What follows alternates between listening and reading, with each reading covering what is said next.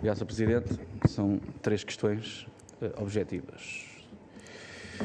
E, e, algumas perguntas, bem, no, no decorrer da, da, audição à Comissão de Trabalhadores, e, e, para ficar aqui claro, já respondeu, mas uh, não ficou claro e eu gostava que ficasse aqui claro. O trabalhador tem direito ou não a descansar a cada duas horas de trabalho? E pergunto-lhe se é uma regra ou é uma prática comum a nível mundial, ou apenas está implementada em Portugal. E outra coisa que também lhe queria perguntar, já que se falou aqui tanto em trabalhadores, eh, relativamente à formação dos trabalhadores, nas auditorias que faz, considera que os, eh, que os trabalhadores da nave têm competência técnica para exercer a sua função de controlador aéreo ou não? Relativamente à pergunta que fiz anteriormente e que não respondeu porque não percebeu, eu vou tentar explicar de novo. A ANA, sempre que recebe uma recomendação do GPF,